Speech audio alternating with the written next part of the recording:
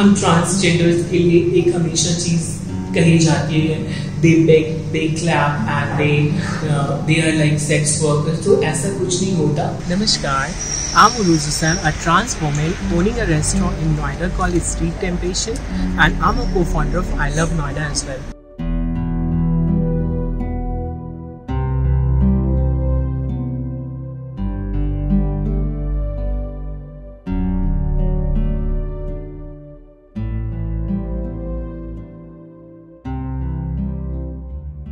I born as a normal child, a boy.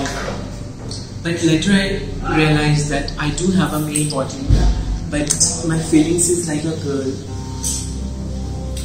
इस चीज़ों से निकलने के लिए मुझे काफ़ी ज़्यादा परेशानी आई लाइक मेरे रिलेटिव्स काफ़ी मुझे बुली करते थे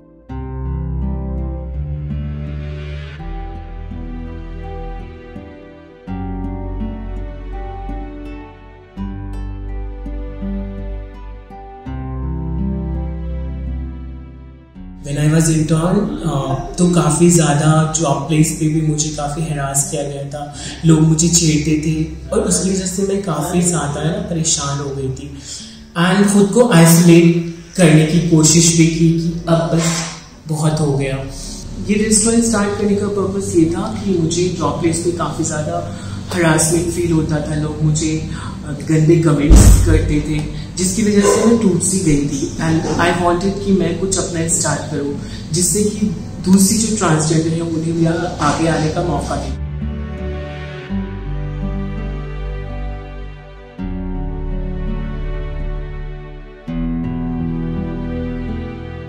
कोविड के टाइम इतनी ज़्यादा परेशानियाँ आ गई थी कि मुझे अपने रेस्टोरेंट की चीज़ों को सेल करने की नौबत सी आ गई थी. लेकिन फिर भी एक मेरे पास सेविंग्स थी जो डॉक्टर्स को मैंने अपने सर्जरी के लिए दे रखी थी, वो फिर वापस ली।